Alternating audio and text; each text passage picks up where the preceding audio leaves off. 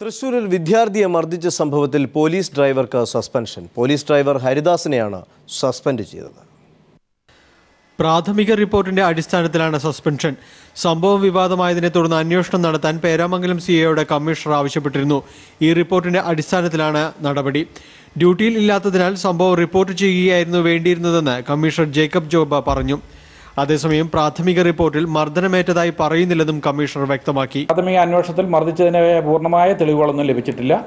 പക്ഷേ ദേഹത്തെ പാടുകൾ ഉണ്ട് എന്നുള്ളതാണ് പ്രാഥമിക അന്വേഷണത്തിൽ അറിയാൻ സാധിച്ചിട്ടുള്ളത്. മർദ്ദനത്തിൽ പരിക്കേറ്റ നിഖിൽ ജില്ലാ ആശുപത്രിയിൽ ചികിത്സയിലാണ്.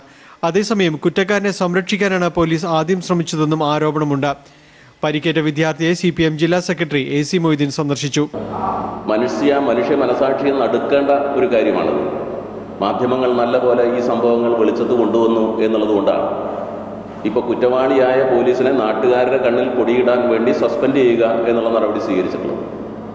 അന്വേഷണ ഉദ്യോഗസ്ഥന്മാർ ഉൾപ്പെടെയുള്ള ആളുകൾ ഇക്കാര്യത്തിൽ ഈ പോലീസ് ഉദ്യോഗസ്ഥരെ രക്ഷിക്കാൻ കൂടി പഴുതുകൾ ഉണ്ടാക്കുന്ന റിപ്പോർട്ടാണ് നൽകുന്നതെന്നാണ് മനസ്സിലാക്കാൻ കഴിയുന്നത്. Thrissur C M S school ഒൻപതാം ക്ലാസ് വിദ്യാർത്ഥിയായ നിഖിലിനെ ബുധനാഴ്ചയാണ് മണലാറകാവ് ക്ഷേത്ര പരിസരത്ത് വെച്ച് മോഷണക്കുറ്റം ആരോപിച്ച് Haridas മർദ്ദിച്ചത്. News bureau Thrissur. Munnar Udumalaipettai റോഡിൽ പാറക്കല്ലുകൾ റോഡിലേക്ക് വീണ് മണിക്കൂറുകളോളം ഗതാഗതം തടസ്സപ്പെട്ടു. ഇതോടെ വരയാടുകളെ കാണാൻ രാജമലയിലെത്തിയ ഒട്ടേറെ വിനോദസഞ്ചാരികൾ വഴിയിൽ കുടുങ്ങി. മണിക്കൂറുകൾ പിന്നിട്ടിട്ടും ഗതാഗത തടസ്സം നീക്കാൻ അധികാരികൾ തയ്യാറാകാതിരുന്നത് പ്രതിഷേധത്തിനും ഇടയാക്കി.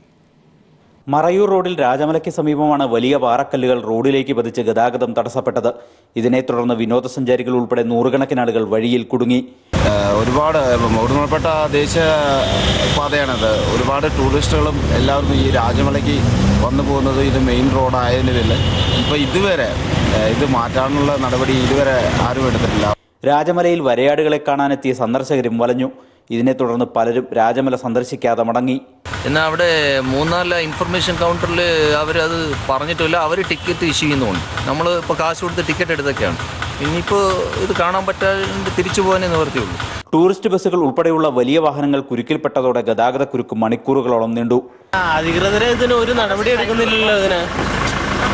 എല്ലാം ഇന്നലെ രാത്രി വന്നപ്പോൾ തന്നെ നല്ല ബ്ലോക്കായിരുന്നു ഏകദേശം ഒരു ഒരു മണിക്കൂറിന് മേളിലെയാണ് ഇവിടെ കിടന്നത്. യഥാസമയം കല്ല് നീക്കം ചെയ്യാൻ പി ഡബ്ല്യു ഡി ഉദ്യോഗസ്ഥർ തയ്യാറാകാതിരുന്നത് പ്രതിഷേധത്തിനിടയാക്കി.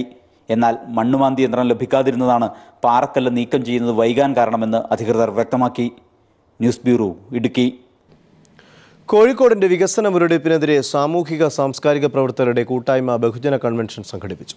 കഴിഞ്ഞ മൂന്ന് വർഷം യു ഡി എഫ് സർക്കാർ വികസന പദ്ധതികളിൽ നിന്ന് കോഴിക്കോടിനെ തഴഞ്ഞെന്നാണ് കൺവെൻഷനിൽ ആക്ഷേപമുയർന്നത്. മോണോ റെയിൽ നഗരപാത വികസനം അടിസ്ഥാന സൗകര്യ വികസനം എന്നിങ്ങനെ കോഴിക്കോട് ജില്ല നേരിടുന്ന പ്രശ്നങ്ങൾ ഏറെയാണ്. എൽ ഡി എഫ് സർക്കാർ തുടങ്ങിവെച്ച ഒരു വികസന പദ്ധതിയുടെയും തുടർച്ച യു ഡി എഫ് സർക്കാർ ഏറ്റെടുത്തില്ലെന്ന് വികസന മുരടിപ്പിനെതിരെ സാമൂഹ്യ സാംസ്കാരിക പ്രവർത്തകർ സംഘടിപ്പിച്ച ബഹുജന കൺവെൻഷനിൽ ആക്ഷേപം ഉയർന്നു. റെയിൽ പദ്ധതി തുടങ്ങിയതും അവസാനിപ്പിച്ചതും നഗരത്തിലെ മൂന്ന് എം എൽ എമാരെയും അറിയിച്ചില്ലെന്ന് കൺവെൻഷൻ ഉദ്ഘാടനം ചെയ്ത് Elamaram Kareem M L A പറഞ്ഞു. അപ്പോൾ എന്താണ് ഈ പദ്ധതി? ആരോട് ചെയ്തു? ഞങ്ങളോട് ചർച്ച ചെയ്തില്ല ഞങ്ങൾ മൂന്ന് എം എൽ എമാർ ഈ നഗരവുമായി ബന്ധപ്പെട്ട്. ഒരു കാര്യവും ചർച്ച ചെയ്തില്ല. ഇതെന്ത് എന്തൊരു എന്തൊരു രീതിയാണ് ഞങ്ങൾ പല തവണ അസംബ്ലിക്കുള്ളിൽ ആവശ്യപ്പെട്ടു മന്ത്രിയോട് ആവശ്യപ്പെട്ടു. ഒരു മീറ്റിംഗ് വിളിക്കണം. എങ്ങനെയാണ് നിങ്ങൾ ഈ പദ്ധതി നടപ്പാക്കുന്നതെന്ന് സംസാരിക്കുന്നത് ഈ കോർപ്പറേഷൻ അകത്താണല്ലോ ഇത് നടപ്പാക്കുന്നത്. കോർപ്പറേഷനോട് സംസാരിച്ചില്ല മേയറോട് സംസാരിച്ചില്ല ഒരു മീറ്റിംഗ് പോലും വിളിച്ചില്ല. A Pradeep Kumar M L A A Achuthan Ahammed Koya എന്നിവർ കൺവെൻഷനിൽ പങ്കെടുത്തു. News bureau Kozhikode. സ്വകാര്യ ട്രാവൽ ഏജൻസികൾക്ക് വേണ്ടി എയർ ഇന്ത്യ മലപ്പുറത്തെ ticket booking office Air India പൂട്ടുന്നു. December മുപ്പത്തൊന്നിനകം പൂട്ടാനാണ് നീക്കം നടത്തുന്നത്.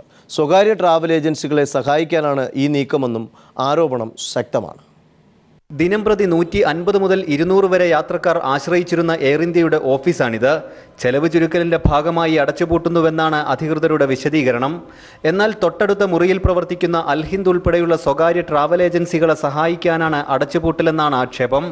മുസ്ലിം ലീഗ് നേതാവ് ഇ അഹമ്മദിന്റെ മകന് ബന്ധമുണ്ട് അൽഹിന്ദ് ട്രാവൽ ഏജൻസിയിൽ. പ്രവാസികളുടെ പ്രതിഷേധം ശക്തമായതോടെ കോൺഗ്രസ് ഉൾപ്പെടെയുള്ള രാഷ്ട്രീയ പാർട്ടികൾ ഓഫീസ് അടയ്ക്കുന്നതിനെതിരെ രംഗത്തെത്തി. ഒരു കാര്യമായൊരു കാരണമൊന്നും പുറത്ത് പറയാതെ അടുത്ത മാസം മുതൽ അല്ലെങ്കിൽ കഴിഞ്ഞ അടുത്ത ജനുവരി മുതൽ ഈ സേവനം മലപ്പുറത്തിന് നഷ്ടപ്പെടും എന്ന് പറയുന്നത് പ്രവാസികൾക്കിടയിൽ വലിയ ആശങ്ക ഉണ്ടാക്കിയിട്ടുണ്ട്.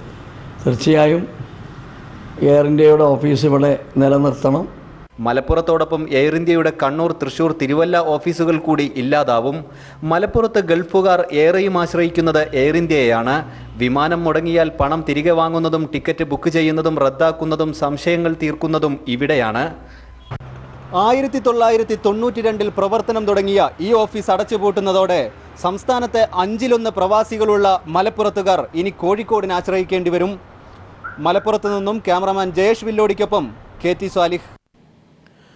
തിരുവനന്തപുരം പത്മനാഭസ്വാമി ക്ഷേത്രം ഭരണസമിതിക്കെതിരെ വിമർശനവുമായി അമിക്കസ് ക്യൂറി ഗോപാൽ സുബ്രഹ്മണ്യത്തിന്റെ പുതിയ റിപ്പോർട്ട്.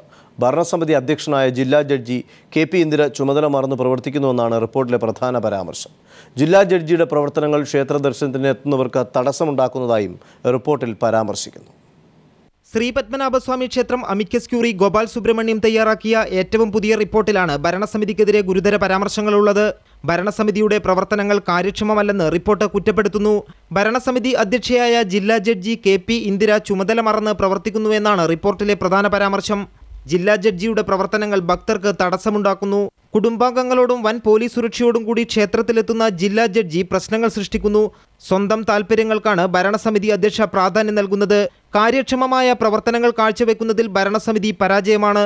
ക്ഷേത്രത്തിന്റെ പ്രവർത്തനം കൂടുതൽ കാര്യക്ഷമമാക്കുന്നതിന് സുപ്രീം കോടതിയുടെ ഭാഗത്തുനിന്നും ശക്തമായ ഇടപെടൽ ഉണ്ടാകണമെന്നും റിപ്പോർട്ടിൽ പറയുന്നു. എന്നാൽ ഭരണസമിതി അധ്യക്ഷയെ മാറ്റണമെന്ന ആവശ്യം റിപ്പോർട്ടിലില്ല. നവംബർ പതിനൊന്നിനാണ് പത്മനാഭസ്വാമി ക്ഷേത്രം കേസ് സുപ്രീം കോടതി ഇനി പരിഗണിക്കുന്നത്.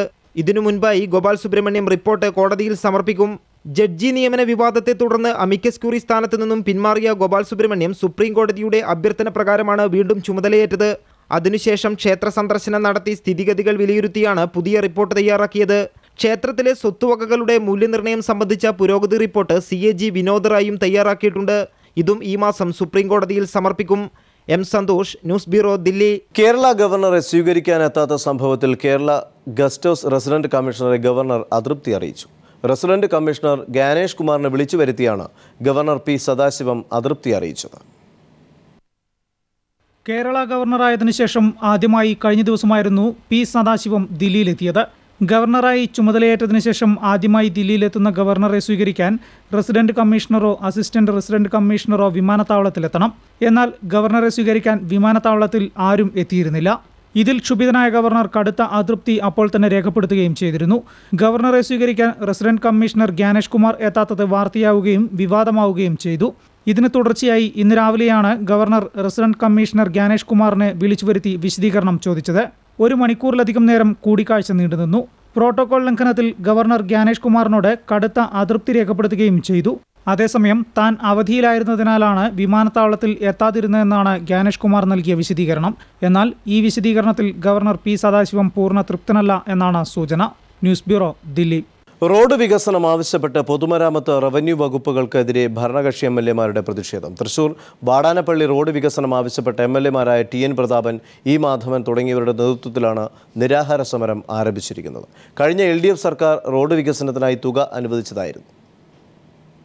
പതിനെട്ട് കിലോമീറ്റർ നീളമുള്ള തൃശൂർ വാടാനപ്പള്ളി റോഡ് ജില്ലയിലെ തന്നെ പ്രധാനപ്പെട്ട റോഡുകളിലൊന്നാണ് എട്ട് മീറ്റർ വീതിയുള്ള റോഡ് പതിനെട്ട് മീറ്റർ ആക്കാനാണ് കഴിഞ്ഞ സർക്കാരിന്റെ കാലത്ത് പദ്ധതി തയ്യാറാക്കിയത്. ഇതിനായി ഇരുപത്തിയാറ് കോടി രൂപ അനുവദിക്കുകയും ചെയ്തു. എന്നാൽ സർക്കാർ മാറിയതോടെ പദ്ധതി മുടങ്ങി. സർവേ ജോലികൾ പൂർത്തിയാക്കിയെന്ന് വ്യക്തമാക്കി പൊതുമരാമത്ത് വകുപ്പ് കൈകഴുകിയപ്പോൾ ഒരു തുടർ നടപടിയും സ്വീകരിക്കാതെ റവന്യൂ വകുപ്പ് റോഡ് വികസനം ചുവപ്പ് നാടയിൽ കുരുക്കി. സ്ഥലം എം എൽ എയും ഡി സി സി പ്രസിഡന്റ് ചുമതലയുമുള്ള പി മാധവൻ. സർവേ പൂർത്തീകരിച്ച് ഏകദേശം ഒന്നര വർഷമായി. ഇനി റവന്യൂ നടപടികൾ ഉണ്ടാകണം. ആ സ്ഥലം അളക്കണം അതിനുള്ള കോമ്പൻസേഷൻ ഫിക്സ് ചെയ്യണം അത് കൊടുത്ത് സ്ഥലം പൊസഷനിലെടുക്കണം അതിന്റെ അടിസ്ഥാനത്തിൽ സ്ഥലം പൊളിച്ചു മാറ്റി റോഡാക്കി മാറ്റണം. ആ പ്രവർത്തനങ്ങളിലേക്ക് വളരെ പെട്ടെന്ന് കടക്കണം എന്നുള്ള ഒരു ഒരു സമ്മർദ്ദമാണ് ഈ സമരത്തിലൂടെ ഞങ്ങൾ മുന്നോട്ട് മുഖ്യമന്ത്രിയോടും മറ്റും നിരവധി തവണ കാര്യങ്ങൾ ചർച്ച ചെയ്തെങ്കിലും ഫലമില്ലാതെ വന്നപ്പോഴാണ് ഭരണകക്ഷി എം എൽ എമാർ തന്നെ നിരാഹാരത്തിനിറങ്ങിയത് C N Jayadevan M P സമരം ഉദ്ഘാടനം ചെയ്തു. സർക്കാർ അനാസ്ഥയ്ക്കെതിരെ രാഷ്ട്രീയ കക്ഷി ഭേദമന്യേ പ്രതിഷേധമുയർന്നു. News bureau Thrissur. ആലപ്പുഴ തൃക്കുന്നപ്പുഴയിൽ കനത്ത ചുഴലിക്കൊടുങ്കാറ്റ് കാറ്റിൽ നാൽപ്പതോളം വീടുകൾ തകർന്നു. ഇന്ന് പുലർച്ചെയോടെയാണ് കാറ്റ് വീശിയത്. പുലർച്ചെ രണ്ട് മണിയോടെയാണ് തൃക്കുന്നപ്പുഴ പഞ്ചായത്തിന്റെ പതിനാല് പതിനഞ്ച് പതിനാറ് വാർഡുകളിൽ ശക്തമായ ചുഴലിക്കാറ്റ് അഞ്ഞു വീശിയത് ഇടിമിന്നലോടുകൂടിയായിരുന്നു കാറ്റ് വീശിയത്. പത്ത് മിനിറ്റ് നേരം നീണ്ടുനിന്ന ചുഴലിക്കാറ്റിൽ നാൽപ്പത് വീടുകൾക്ക് സാരമായ കേടുപാടുകൾ സംഭവിച്ചു. അറുപത് വീടുകൾ ഭാഗികമായി നാശനഷ്ടം സംഭവിച്ചതായാണ് പ്രാഥമിക വിലയിരുത്തൽ.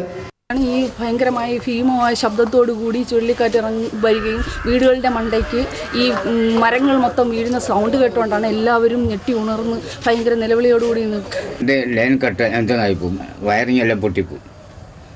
കുഞ്ഞുങ്ങളെ കൊണ്ട് വെളിക്കോട്ടിറങ്ങാൻ വയ്യാത്ത സാഹചര്യമായി മിന്നലും കാറ്റും അതിശക്തമായ മിന്നലും വിളിക്കോട്ട് വെളിക്കോട്ട് നോക്കാൻ വയ്യ തീപ്പൊരി പോലെ പറക്കുക ഈ കാറ്റുകളെല്ലാം ഭയപ്പെട്ടു പോയി. ചുഴലിക്കാറ്റ് വീശിയതിനെ തുടർന്ന് തീരദേശ മേഖലയിലെ വൈദ്യുതി ബന്ധവും ഗതാഗതവും തടസ്സപ്പെട്ടു. പിന്നീട് ഫയർഫോഴ്സും നാട്ടുകാരും ചേർന്നാണ് ഗതാഗതം പുനഃസ്ഥാപിച്ചത്. ലക്ഷക്കണക്കിന് രൂപയുടെ നാശനഷ്ടമുണ്ടായതായാണ് പ്രാഥമിക വിവരം. ജില്ലാ ഭരണാധികാരികൾ സംഭവസ്ഥലം സന്ദർശിച്ച് വിവരങ്ങൾ ശേഖരിച്ചു വരുന്നു. Shajahan news bureau Alappuzha.